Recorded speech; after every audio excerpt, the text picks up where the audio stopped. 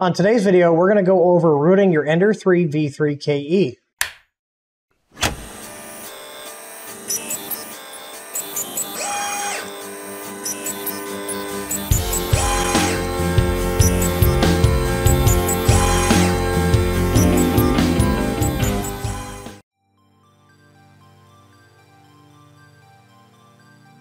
So the first thing you're going to need to do before we start this process is make sure you're on the latest version of Creality's firmware for this printer. At the time of recording the video, it's 1.1.0.12, and I put a link to that firmware down in the video description. To update this firmware, if you're already on the network with the printer, you can go ahead and update it right from the LCD screen.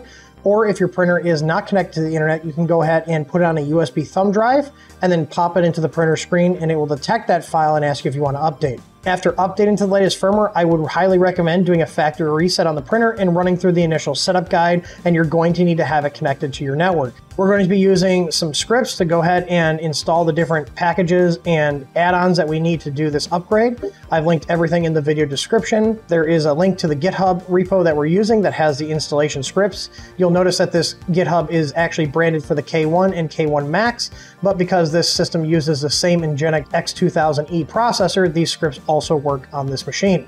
So without further ado, we're going to show you how to go ahead and enable root.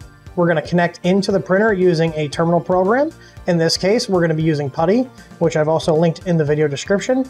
And then once we are connected into the machine, we're going to install a bunch of packages that will allow us to get rid of Creality's cloud crap on the machine instead of using Creality's web interface, we're going to install the much nicer Mainsail interface that most Klipper users prefer these days. After we've got all the interface updates done, the last part of the video will be enabling support for third-party webcams. Now, if you don't want to use a third-party webcam, you don't have to do this last step, but I do highly recommend it as there's a lot better camera options on the market other than Creality's AI cloud camera.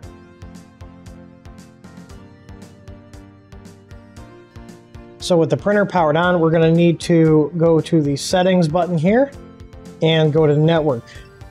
Go ahead and make a note of the IP address your printer has on the network. If you do not have it connected to the network, go ahead and do that now before continuing.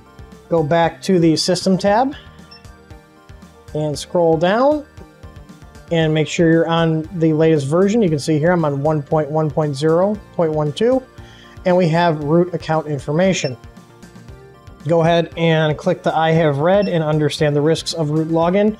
And then we're going to have to wait 30 seconds for some reason before we can click the OK button. One hour later. Go ahead and click the OK button. And now we have root access. So we're going to switch over to the computer. So to make sure our machine is actually on our network, go ahead and open a web browser and put the IP address of the machine into the browser. You should see this Creality print screen.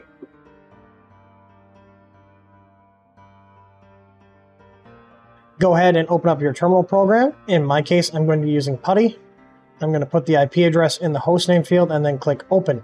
Go ahead and type the login credentials, which is root for the username and Creality 2023 with a capital C for the password. I'd recommend making this window larger so we can see everything that shows up on the menus.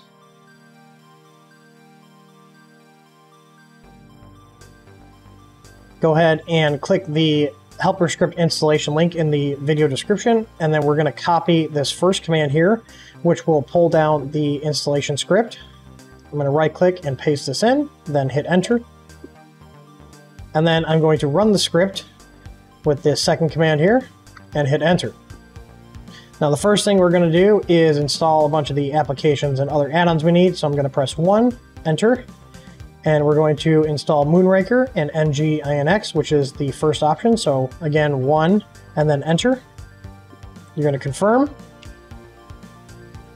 and then give this a couple minutes to install the services.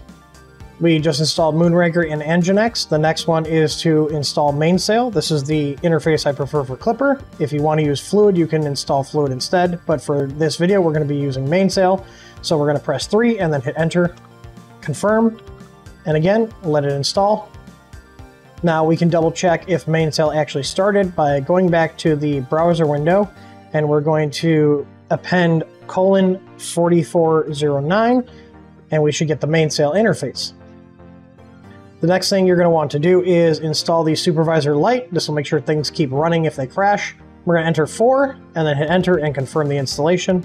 The other thing we're going to want to install is Entware. This will allow us to install other options into the actual Linux subsystem. So 5, enter, confirm.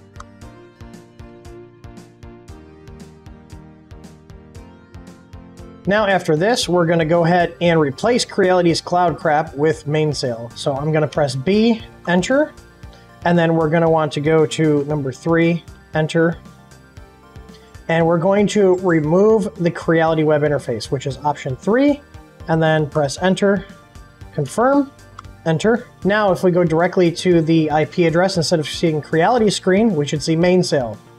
So just like that, now our printer no longer is beholden to Creality's cloud system. We're using the Mainsail interface instead of Creality's bastardized version of a web interface for Klipper. We can go back to the main menu. And if you want to go ahead and look around and see what other options we have, they have a lot of different stuff in here, but we're just going over the basics right now in this video. I'm going to go ahead and hit Q to exit, and now the next part is going to be using a USB webcam with the system.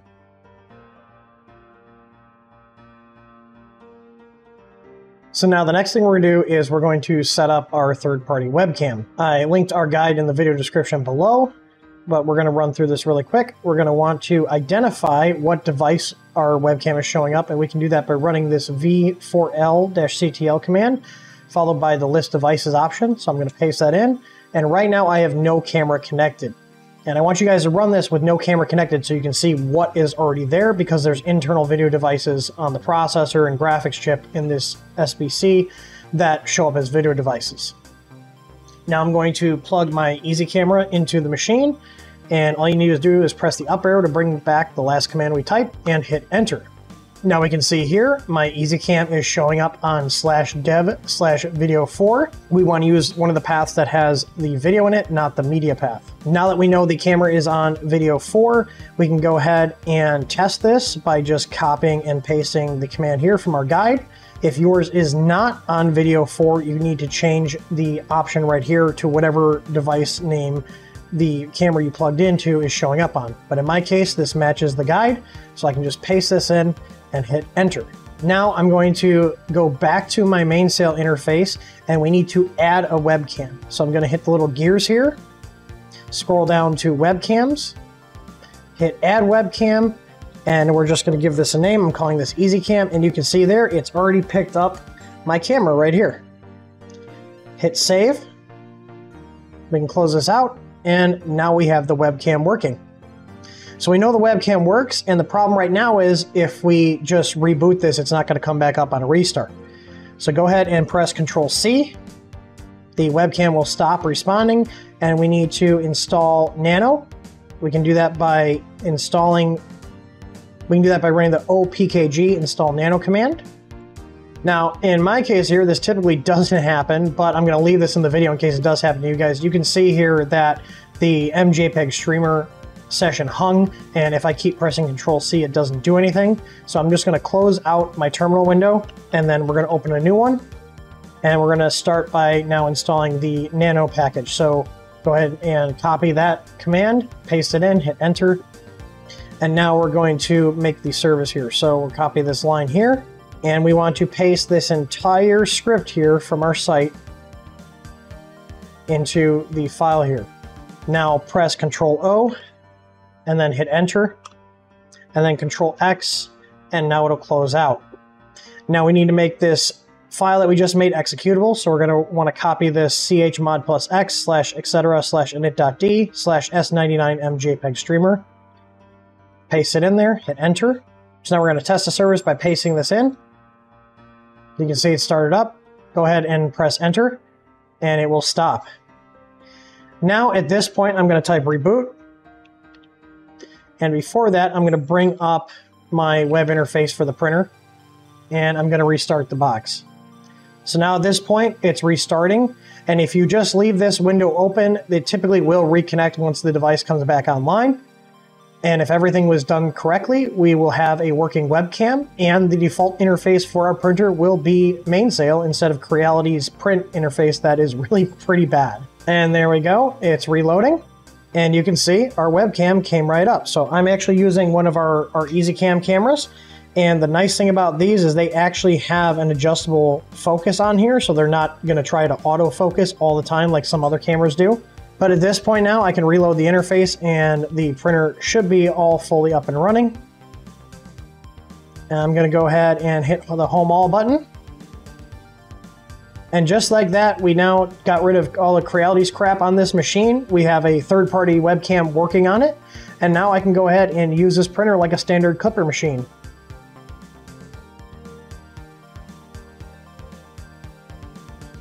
You guys all know that I've been talking about how the cloud stuff is something you should stay away from. Now we've taken this printer from a Creality cloud connected machine to a standard Klipper install. Now the only thing that isn't supported in these helper scripts as of the time of making this video is changing out the interface that comes on the actual screen itself. Now personally the stock interface is not terrible, it gets the job done, but I typically access all my printers over the network interface and having Mainsail as the interface that I'm accessing the printer through instead of Creality's kind of butchered cloud service interface is a lot better in this and it makes this printer a lot more attractive to use. Overall, I'm fairly happy with the Ender 3 V3KE.